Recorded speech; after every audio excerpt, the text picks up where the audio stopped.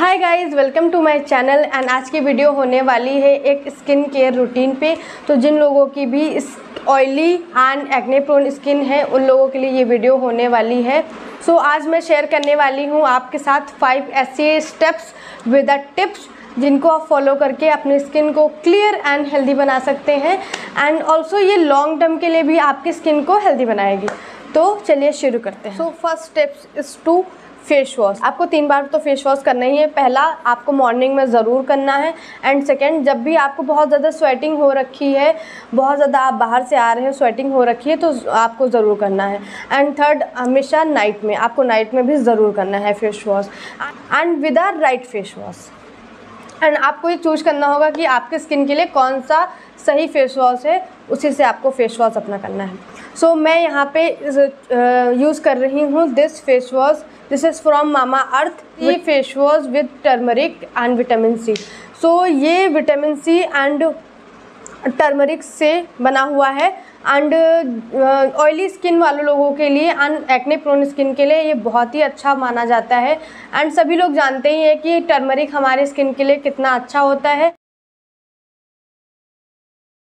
जैसा कि आप देख सकते हैं ये जेल बेस्ड फेस वॉश है।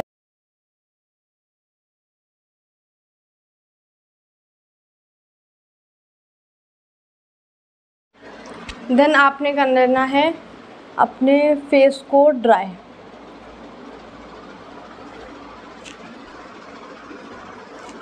एंड आपको हमेशा बहुत ज़्यादा हार्शली नहीं करना है. एकदम सॉफ्ट तरीके से करना है.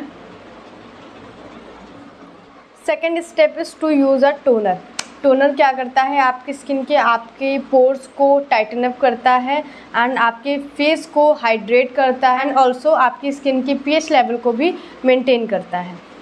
सो so, मैं यहाँ पे यूज़ कर रही हूँ ये rose water rose water as a toner and ये बहुत ही अच्छा वर्क करता है टोनर की तरह। तो मैं इसको यूज़ कर रही हूँ। एंड आपको टू मिनट्स तक वेट करना होगा कि ये आपकी स्किन में अच्छे से अब्जॉर्ब हो जाए। आफ्टर अप्लाइंग अ टोनर कितना नेचुरल सा ग्लो आ जाता है face step is to use a serum वैसे तो आप तीन ही स्टेप्स फॉलो कर सकते हैं बट ये वाला भी स्टेप ज़रूरी है। क्यों? क्योंकि जो सीरम होता है जो हमारे स्किन पे पोर्स हो जाते हैं ओपन पोर्स हो जाते हैं एंड ये सीरम उन चीज़ों में बहुत ही ज़्यादा हेल्प करता है। मीन्स कि हमारी स्किन को ये बहुत ही ज़्यादा डीपली जाके क्लीन करता है। जो सीरम होता है ये वाटरी फॉर्म में होता है तो ये हमारी स्किन को डीपली क्लीन करता है एंड हेल्दी रखता है।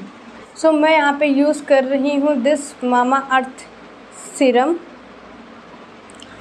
this is a skin correct face serum ये आपको अपने मार्क्स एंड स्कार्स में भी बहुत ही हेल्प करेगा।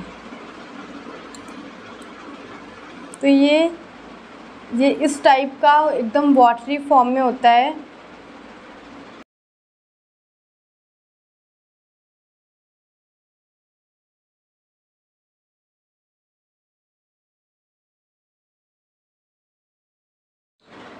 एंड ये आपके स्किन में जो भी एक्ने मार्क्स होंगे, जो भी पिंपल होंगे, जो भी पोर्स हैं एंड आपके ब्लेमिशेस हैं, ये सारी चीज़ों को ठीक करने में सीरम बहुत ही ज़्यादा help fourth step is to moisturise your skin and सबसे ज़्यादा ये लोगों को कन्फ्यूज़न रहती है कि हम तो ऑयली स्किन वाले हैं तो हमें मॉइस्चराइज़र की कोई ज़रूरत ही नहीं है। तो ये बिल्कुल भी गलत है। हमेशा हमारी स्किन को मॉइस्चर की ज़रूरत हमें होती है। बट एक सही तरीके का मॉइस्चराइज़र को यूज़ करना।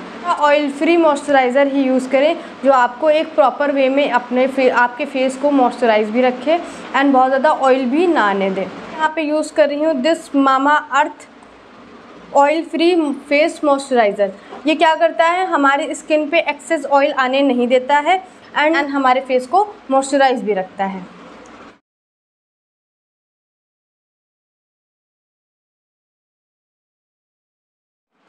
Five step is to use a sunscreen रात में तो आप इसके बिना रह सकते हैं बट डे में ये आपको बिल्कुल भी अवॉइड नहीं करनी है। अपनी स्किन को sun rays and U V A U V V से आपको प्रोटेक्ट करना ज़रूरी है। जैसे कि हमें टैनिंग भी नहीं होगी। सो so, मैं यहाँ पे यूज़ कर रही हूँ this Mamaearth ultra height Indian sunscreen with a carrot seed and turmeric with S P F fifty plus plus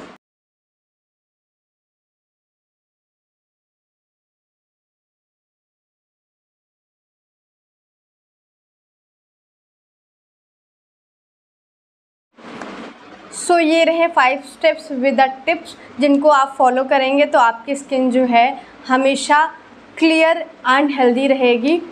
I hope आपको आज की वीडियो पसंद आई होगी। अगर पसंद आती है तो ज़रूर like share subscribe to my channel thanks for watching bye guys